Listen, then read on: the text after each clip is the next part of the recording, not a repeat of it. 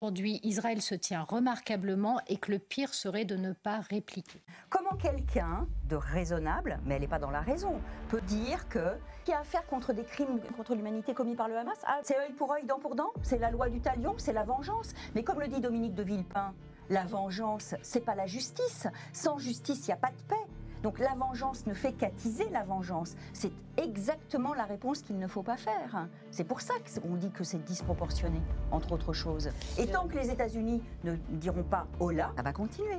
Mais ça ne nous empêche pas, nous, de dire et de qualifier les choses, d'essayer de les bien nommer et de, de faire appel au droit. Tout à fait.